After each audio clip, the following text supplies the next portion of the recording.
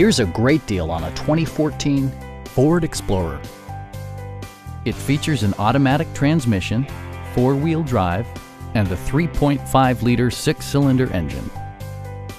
Comfort and convenience were prioritized within, evidenced by amenities such as one-touch window functionality, a tachometer, a trip computer, an outside temperature display, power front seats, and much more. With side curtain airbags supplementing the rest of the safety network, you can be assured that you and your passengers will experience top-tier protection. It also arrives with a Carfax history report, providing you peace of mind with detailed information. Stop by our dealership or give us a call for more information